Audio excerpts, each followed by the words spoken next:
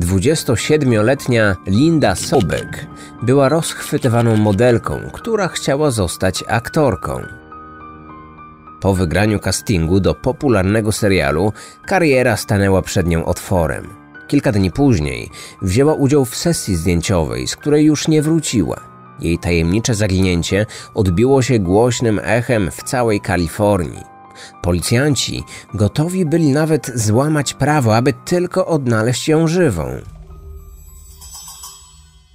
Kryminatorium. Otwieramy akta tajemnic. Elaine Sobek do tej pory nie była do końca zadowolona z życiowej drogi, jaką obrała jej córka. 27-letnia Linda była kalifornijską modelką. Ten zawód jej matka jeszcze potrafiła zaakceptować. Sama przecież często zachwycała się zgrabnymi pięknościami, paradującymi po wybiegu dla modelek podczas najsławniejszych światowych pokazów mody. Ale Linda była zupełnie inną modelką. Specjalizowała się w sesjach zdjęciowych w skąpym bikini. Jej fotografie zdobiły głównie kalendarze, plakaty reklamowe lub samochodowe katalogi.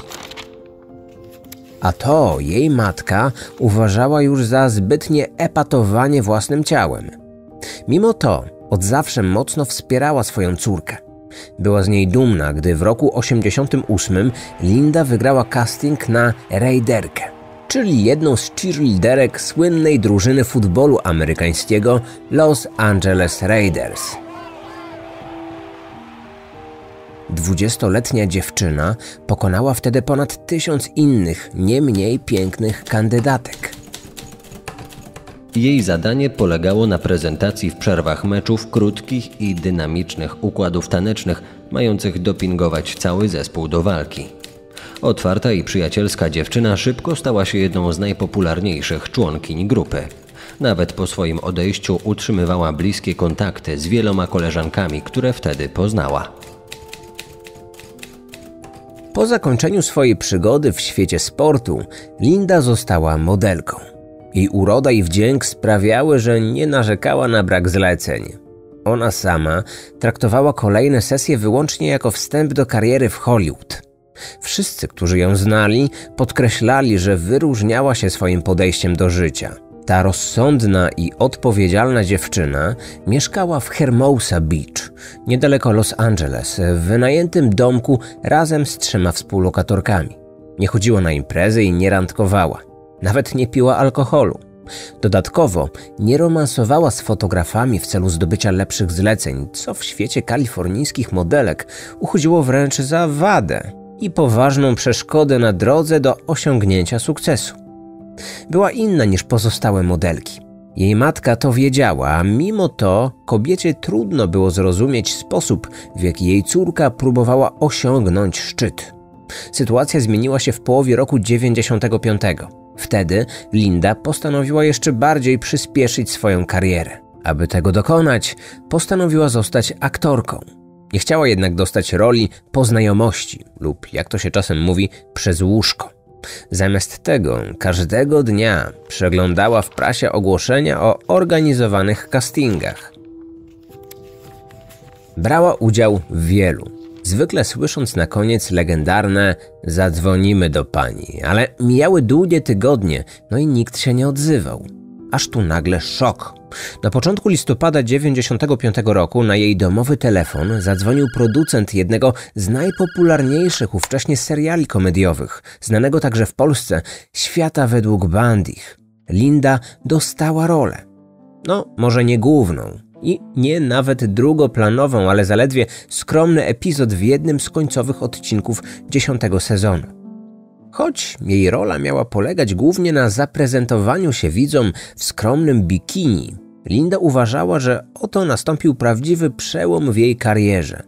Jeśli dobrze wypadnie, być może posypią się następne propozycje, a kolejne jej role będą i dłuższe, i większe.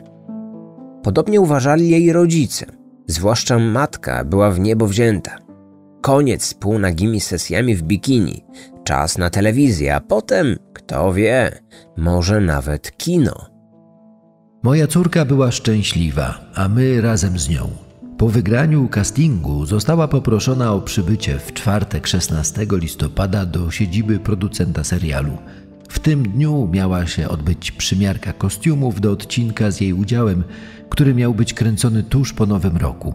Z tej okazji musieliśmy zorganizować rodzinnego grilla w pierwszy weekend po tym ważnym dla niej wydarzeniu. Ważne dla nich chwile celebrowali przy pieczonych stekach, hot dogach i niskoalkoholowym piwie. A wkroczenie ich córki do świata telewizji do takich chwil z całą pewnością się zaliczało. Tego weekendu najbardziej nie mogła doczekać się jej matka. W czwartek rano udała się na zakupy. Po powrocie do domu postanowiła zadzwonić do Lindy i jeszcze raz omówić z nią przygotowania do rodzinnej imprezy. Ich rozmowa nie trwała jednak zbyt długo. Po zaledwie kilku minutach Linda nagle ją przerwała. Oznajmiła, że musi kończyć, bo spóźni się na umówioną sesję zdjęciową. Później czekały ją jeszcze dwa inne zlecenia oraz tak bardzo wyczekiwana przymiarka kostiumu do serialu. Zanim się rozłączyła, obiecała matce, że zadzwoni wieczorem, gdy wróci do domu. Wtedy dokończą planowanie weekendowej imprezy. No i oczywiście opowie o swoich wrażeniach z wizyty w studiu filmowym. Kobieta czekała na telefon do późna, ale Linda nie zadzwoniła. Choć była nieco zaniepokojona, mąż próbował tłumaczyć, że nie ma powodów do obaw. Na pewno przymiarki się opóźniły, a ich córka wróciła do domu zmęczona, położyła się spać i zadzwoni rano. Jednak w piątkowy poranek telefon wciąż milczał. Zadzwoniła więc Elaine.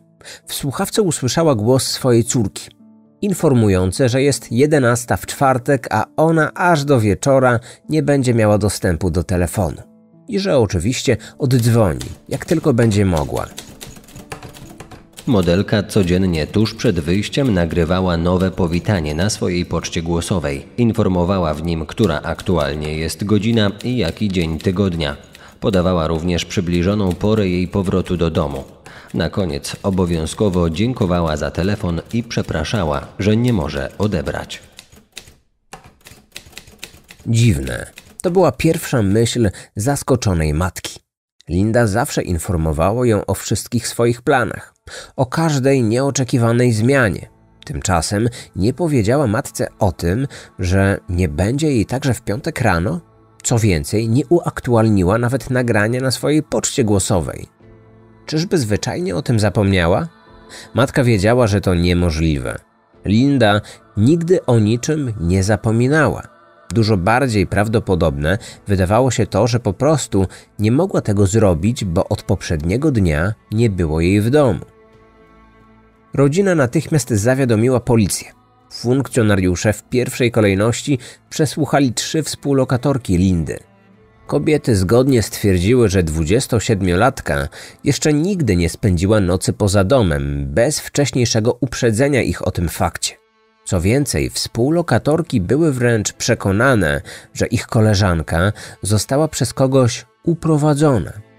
Dodatkowo zwróciły uwagę policjantów na tajemniczy udział Lindy w sesji zdjęciowej, na którą bardzo się spieszyła, a o której nic im wcześniej nie powiedziała. To było dziwne, bo do tej pory kobiety mówiły sobie o wszystkich swoich planach. Już pierwsze chwile naszego śledztwa zdawały się potwierdzać najgorsze obawy. Linda nie wzięła udziału w dwóch popołudniowych sesjach, a co najważniejsze, nie pojawiła się również na przymiarkach kostiumu. Po rozmowie z jej bliskimi byliśmy już pewni, że ona sama nigdy by z nich dobrowolnie nie zrezygnowała. Wtedy zapaliła się nam czerwona lampka – Zdarzył się wypadek, czy została porwana? Sprawdzono wszystkie możliwe szpitale. Nic, żadnych śladów. Próbowano ustalić jakiekolwiek szczegóły związane z pierwszą sesją, o której bliscy zaginionej nic nie wiedzieli. Nie udało im się to, więc otwarte pozostawało pytanie, czy Linda w ogóle wzięła w niej udział. Jej rodzina i przyjaciele przez cały weekend prowadzili swoje własne poszukiwania. Rozwiesili ponad 53 tysiące plakatów. Zrobili także zbiórkę pieniędzy, po której zaoferowali 20 tysięcy dolarów nagrody za odnalezienie kobiety. W poniedziałek o tej sprawie napisały kalifornijskie dzienniki, a lokalne telewizje opublikowały komunikat o zaginionej, podając jej rysopis.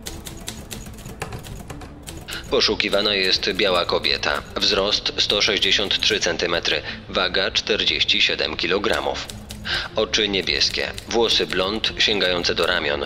Policja poszukuje również jej samochodu, białego sportowego Nissana z kalifornijskimi tablicami rejestracyjnymi. Kobieta ostatni raz widziana była w zeszły czwartek, 16 listopada o 11. Ten komunikat obejrzał w telewizji jeden z pracowników ekipy remontującej drogę na terenie Lasu Państwowego Angeles. Zaprezentowane zdjęcie zaginionej wydało mu się znajome. Nagle zerwał się na równe nogi i wybiegł z domu, prosto na podjazd. Otworzył swój samochód i z jego schowka wyjął plik zdjęć. Znalazł je trzy dni wcześniej, w rowie przy drodze, na której pracował. Zatrzymał je dla siebie, bo spodobała mu się przedstawiona na nich uśmiechnięta blondynka. Na niektórych była sama, na innych z jakimiś ludźmi. Mogli to być jej przyjaciele albo rodzina. Mężczyzna nie zawracał sobie tym głowy i szybko zapomniał o swoim znalezisku. I przypomniało mu o nim dopiero zdjęcie poszukiwanej modelki, które zobaczył w telewizji. Jeszcze raz spojrzał na plik znalezionych zdjęć. Tak, teraz już miał pewność. Znalazł zdjęcia Lindy Sobek. Dopiero teraz zauważył, że do fotografii dołączona była kartka wyrwana z kalendarza. Czwartek, 16 listopada. To był dzień, w którym, jak informował telewizyjny komunikat, zaginiona widziana była po raz ostatni. Mężczyzna postanowił natychmiast powiadomić o tym policję. Funkcjonariuszy bardziej od zdjęć zainteresowała ta wspomniana kartka z kalendarza. Zawierała odręcznie zapisany adres gdzieś w zachodnim Hollywood. Po sprawdzeniu okazało się, że dom wynajmuje 37-letni fotograf Charles Radban. Współlokatorki twierdziły, że niektóre z odnalezionych fotografii były tymi, które Linda zawsze zabierała ze sobą na spotkanie z potencjalnymi zleceniodawcami. To był trop, jakiego potrzebowaliśmy. Przypuszczaliśmy, że ten fotograf może mieć związek z tajemniczą sesją, o której do tej pory nic nie wiedzieliśmy. Jeśli tak faktycznie było, mógł być ostatnią osobą, która spotkała się z zaginioną kobietą przed jej zaginięciem. To oczywiście nie uczyniło z niego jeszcze osoby podejrzanej, ale postanowiliśmy pojechać pod zapisany na kartce adres, żeby to sprawdzić. Gdy tylko śledczy podjechali pod ten adres, na podjeździe stał już policyjny radiowóz. Dwóch funkcjonariuszy prowadziło w jego stronę skutego Charlesa. Chwilę wcześniej odebrali oni zgłoszenie o pijanym mężczyźnie próbującym popełnić samobójstwo. Pierwsza próba została udaremniona przez jego partnerkę. Podczas szarpaniny broń wypaliła, raniąc kobietę w rękę. Do śledczych natychmiast podszedł starszy mężczyzna. Przedstawił się jako adwokat zatrzymanego fotografa. Kiedy Radban trzeźwiał w policyjnym areszcie, jedna z grup poszukiwawczych odnalazła samochód Lindy. W środku wciąż znajdowały się jej rzeczy osobiste. Dwa dni później, podczas przeszukania okolicy, w której robotnik drogowy znalazł zdjęcia oraz kartkę z kalendarza, natrafiono na kosmetyczkę z inicjałami LS. Szybko potwierdzono, że należała ona do modelki. W środku był paragon datowany na dzień jej zaginięcia. Kilkanaście metrów dalej znaleziono coś jeszcze. Był to rachunek za wypożyczenie samochodu sportowego marki Lexus z dnia, w którym zniknęła Linda, wystawiony na Charlesa. Był to kolejny trop, który łączył jego nazwisko z osobą zaginionej. Policjanci przesłuchali go. Mężczyzna już po pierwszym pytaniu przyznał się do zabicia modelki. Płacząc i przepraszając za szczegółami, opowiadał o wszystkich okolicznościach. Twierdził, że podczas sesji zdjęciowej doszło do nieszczęśliwego wypadku. Chciał zrobić kilka ujęć auta kręcącego bączki po dnie wyschniętego jeziora. W tym celu postanowił nauczyć tego manewru modelkę biorącą udział w jego sesji. Jednak podczas demonstracji stracił panowanie nad kierownicą i uderzył autem w stojącą obok kobietę. Ta zginęła na miejscu, a on spanikował. Charles zeznał, że ze strachu włożył ciało Lindy do samochodu, a później przez ponad godzinę jechał przed siebie, nie wiedząc co ma zrobić. Gdy dotarł do lasu państwowego Angeles, postanowił zakopać zwłoki w płytkim grobie.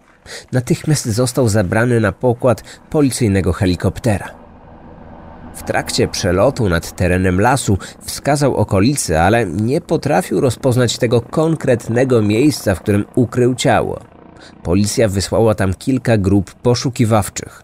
O wynikach całej akcji najpierw poinformowano rodzinę zaginionej, później dziennikarzy.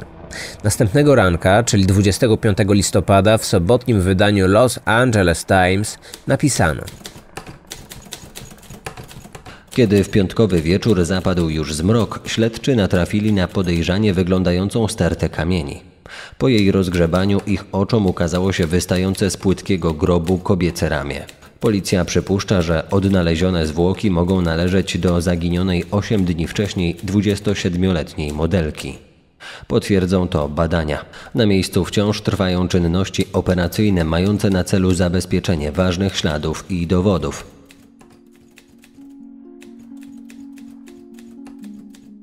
Następnego dnia potwierdzono, że odnaleziono ciało Lindy. Już pierwsze badania zwłok sprawiły, że śledczy zaczęli wątpić w wersję wydarzeń opowiedzianą przez fotografa. Ciało nie miało obrażeń typowych dla potrącenia samochodem. Żadna kość nie została złamana. Nie znaleziono większych siniaków i obtarć. Szczegółowa sekcja potwierdziła obawy śledczych. 27-latka została uduszona. Przed śmiercią sprawca zgwałcił ją za pomocą lufy rewolweru. Charles został aresztowany pod zarzutem dokonania gwałtu ze szczególnym okrucieństwem oraz morderstwa z premedytacją. Nie przyznał się do winy. Wciąż uparcie twierdził, że doszło do nieszczęśliwego wypadku. Trochę jednak zmienił swoją wersję. Mówił, że podczas sesji fotograficznej, będąca pod wpływem alkoholu Linda, uwiodła go, że doszło między nimi do dobrowolnego stosunku, w trakcie którego to modelka poprosiła go o wykorzystanie rewolweru. Gdy było już po wszystkim, oboje wzięli się do pracy. I dopiero wtedy, podczas tej demonstracji kręcenia bączków autem, fotograf potrącił modelkę. Nie zabił, a jedynie zranił. Po wypadku Charles ułożył ją na tylnym siedzeniu Lexusa. Nagle kobieta zaczęła być agresywna. Biła go i kopała. On próbował ją uspokoić. Przycisnął jej twarz do oparcia. Dopiero po chwili zorientował się, że uczynił to zbyt mocno. Tym sposobem niechcący udusił Lindę. Tymczasem śledztwo trwało nadal. Wkrótce zaczęły wychodzić na światło dzienne kolejne obciążające fotografa fakty. 15 lat wcześniej został on oskarżony o seksualne wykorzystanie modelki, z którą pracował. Sąd go wtedy co prawda uniewinnił, ale policjanci dotarli do kilku innych kobiet, które twierdziły, że są jego byłymi ofiarami. Okazało się także, że w środowisku modelek miał bardzo złą reputację. Wiele dziewczyn odmawiało pracy z nim, ponieważ często składał im niedwuznaczne propozycje seksualne. Również sama sesja z Lindą budziła nasze wątpliwości. Oskarżony twierdził, że wykonywał zlecenie dla jednego z magazynów motoryzacyjnych. Jego wydawca potwierdził to, ale jednocześnie zapewnił, że magazyn nigdy nie wykorzystywał w swoich sesjach modelek. Fotografowano wyłącznie auta, więc Linda nie powinna w ogóle brać w niej udziału. Śledczy postanowili przyjrzeć się tajemniczym i niewyjaśnionym sprawom zaginięć innych modelek sprzed lat. Okazało się wtedy, że okoliczności zaginięcia Lindy były łudząco podobne do przypadku z roku 92. Wtedy to dwudziestoletnia Kimberly z Los Angeles zniknęła tuż po tym, jak oznajmiła znajomym, że jedzie na niezaplanowaną wcześniej sesję zdjęciową. Jej ciało zostało odnalezione rok później w lesie państwowym Angeles, zaledwie kilkaset metrów od miejsca, w którym Charles zakopał zwłoki Lindy. 24-letnia studentka Kim, 27-letnia Jill 24-letnia Christine, 30-letnia Marie. One wszystkie na przestrzeni kilku lat udały się na sesję zdjęciową i już z niej nie wróciły. Jedne zostały odnalezione po kilku dniach, inne po kilku miesiącach. Pracowały w różnych stanach, ale łączyło je jedno: zostały zamordowane przez nieznanego sprawcę. Były też przypadki modelek, których nigdy nie odnaleziono ani żywych, ani martwych. Choć śledczy nie mieli na to dowodów, zaczęli przypuszczać, że Charles może być seryjnym zabójcą, który od kilku lat zwabia modelki na sesje fotograficzne, a następnie je zabija. 38-letni fotograf oczywiście zaprzeczył, że miał z tym cokolwiek wspólnego. Śledczym nie udało się jednak znaleźć żadnych dowodów mogących połączyć Charlesa z jakimkolwiek z tych przypadków. Można było go więc oskarżyć wyłącznie o przestępstwa związane ze sprawą Lindy. Za gwałt i morderstwo z premedytacją groziła mu kara śmierci. Ostatecznie prokuratura postanowiła nie domagać się takiej kary. Decyzja podjęta przez prokuraturę oznacza, że 38-letniemu fotografowi grozi maksymalnie kara dożywotniego pozbawienia wolności bez możliwości ubiegania się o przedterminowe zwolnienie warunkowe. Choć prokuratura okręgowa nie ujawniła powodu podjęcia takiej decyzji, obrońca oskarżonego zasugerował, że może ona mieć związek z brakiem mocnych dowodów przeciwko jego klientowi. Proces rozpoczął się we wrześniu 1996 roku. Już na samym jego początku pojawiły się komplikacje. Zaczęło się od zeznań dwóch biegłych lekarzy sądowych. Pierwszy z nich zeznał, że podczas sekcji zwłok ofiary w jej nosie, gardle i oskrzelach znaleziono pianę. Był to dowód na uduszenie. Siniaki w okolicach podbródka miały świadczyć o tym, że kobieta broniła się, próbując oderwać dłonie napastnika od swojej szyi. Zaprzeczył temu drugi z lekarzy. Jego zdaniem obrażenia sugerują, że ofiara udusiła się po tym, jak jego szyja i klatka piersiowa zostały przyciśnięte do nieokreślonej powierzchni. Teoretyzował przy tym, że mogło to nastąpić na tylnym siedzeniu samochodu co zdawało się potwierdzać wersję oskarżonego o nieszczęśliwym wypadku podczas kłótni i próby uspokajania agresywnej Lindy. Mimo to prokuratura była pewna swoich dowodów. W końcu sprawca się przyznał, a nawet wskazał miejsce ukrycia ciała. Wkrótce jednak oskarżyciele otrzymali ze strony obrońców Charlesa cios tak potężny, że mógł on zaważyć na całym procesie. Okazało się, że w trakcie aresztowania podejrzanego policjanci nie odczytali mu jego praw. W Stanach Zjednoczonych tak zwane prawa Mirandy to lista praw, które przysługują każdej osobie aresztowanej. W jej skład wchodzi prawo do zachowania milczenia oraz ostrzeżenie, że wszystko, co aresztowany powie od chwili zatrzymania, może zostać wykorzystane przeciwko niemu w sądzie. Ma on także prawo do obecności adwokata podczas swojego przesłuchania, a jeśli nie stać go na wynajęcie prawnika, zostanie mu przydzielony obrońca z urzędu. Formułka ta jest standardowo odczytywana każdemu aresztowanemu i można ją usłyszeć w większości amerykańskich filmów i seriali kryminalnych. Najważniejszym aspektem tej czynności jest to, że jeśli aresztowany nie zostanie poinformowany o przysługujących mu prawach, jego późniejsze słowa nie mogą być dopuszczone w sądzie jako dowód. Tak też się stało w przypadku aresztowanego Charlesa. Nie tylko nie zapoznano go z prawami Mirandy, ale również zlekceważono jego prośbę o adwokata, choć wspomniał o tym co najmniej kilka razy. Zamiast natychmiast przerwać przesłuchanie i poczekać na przyjazd obrońcy, policjanci kontynuowali zadawanie pytań, czym pogwałcili prawa osoby zatrzymanej.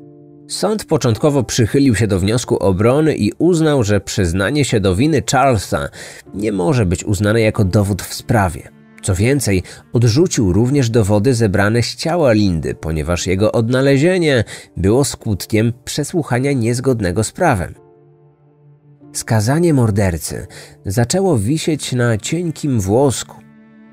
Czyżby mógł on uniknąć odpowiedzialności z powodu błędów policji? Postawiony pod ścianą prokurator nie miał wyjścia. musiał zaryzykować. Jego ostatnią deską ratunku było powołanie się na tzw. Tak wyjątek bezpieczeństwa publicznego dla praw Mirandy. Pozwala on policjantom na zrezygnowanie przed rozpoczęciem przesłuchania z odczytania zatrzymanemu jego praw tylko w jednym przypadku jeśli zagrożone jest bezpieczeństwo publiczne lub życie innych osób. I to tylko wtedy, gdy funkcjonariusze mają powody sądzić, że osoba przesłuchiwana posiada informacje mogące temu zapobiec. W chwili rozpoczęcia tamtego przesłuchania funkcjonariusze nadal wierzyli, że zaginiona modelka wciąż żyje. Wiedzieli też, że z każdą kolejną minutą szanse na jej odnalezienie drastycznie maleją. W sądzie zeznali oni, że pierwsze przesłuchanie nie miało na celu ustalenia winy, ale jak najszybsze poznanie miejsca pobytu osoby zaginionej, której zdrowie, a nawet życie było poważnie zagrożone. Sąd po zapoznaniu się ze wszystkimi szczegółami zmienił zdanie i przychylił się do wniosku prokuratury. Tym samym uznał, że policjanci mieli pełne prawo do zastosowania wyjątku bezpieczeństwa publicznego jak podkreślił sędzia, uratowanie życia ludzkiego zawsze musi być dla policjantów tym nadrzędnym celem, nawet jeśli wiązałoby się to ze złamaniem przez nich prawa. Proces Charlesa trwał pięć tygodni. Ława przysięgłych potrzebowała sześciu godzin, aby wydać swój jednogłośny werdykt. Winny wszystkich zarzucanych mu czynów – Sędzia skazał fotografa na karę dożywotniego pozbawienia wolności, bez prawa do zwolnienia warunkowego. Nawet gdy skazany siedział w więzieniu, policjanci z Wydziału Zabójstw wciąż próbowali powiązać go z innymi przypadkami zaginięć i morderstw modelek z całego kraju. Do śledztwa włączyło się także FBI. Na próżno. Nigdy nie udało się znaleźć choćby jednego niepodważalnego dowodu na to, że, jak sądzili śledczy, kalifornijski fotograf był w rzeczywistości seryjnym zabójcą modelek. W sierpniu 1999 roku najpierw sąd apelacyjny, a później sąd najwyższy kolejno odrzuciły apelację odsiadującego swój wyrok Charlesa. Dziś 65-letni morderca wciąż przebywa w kalifornijskim więzieniu na terenie hrabstwa San Bernardino i nadal twierdzi, że śmierć Lindy była tylko nieszczęśliwym wypadkiem. Odcinek powstał na podstawie książek Jacka Nerada i Clifforda Linedeckera oraz serii artykułów prasowych opublikowanych w dzienniku Los Angeles Times w latach 1995-99. Wykorzystano również informacje zawarte w artykule Bretta Hewita z magazynu People.